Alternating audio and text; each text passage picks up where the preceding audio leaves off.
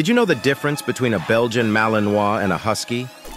The Malinois, part of the Shepherd family, is often slightly smaller than the Husky. But don't be fooled. They pack a punch in terms of strength and agility. When it comes to speed, it's a close call, but the Malinois might have a slight edge due to its athletic build. Intelligence-wise, both breeds are sharp, but Malinois are especially known for their training capabilities in police and military roles. The Husky, with its mesmerizing blue eyes and thick double coat, is built for the cold. On the other hand, the Malinois showcases a short tan coat with a black mask.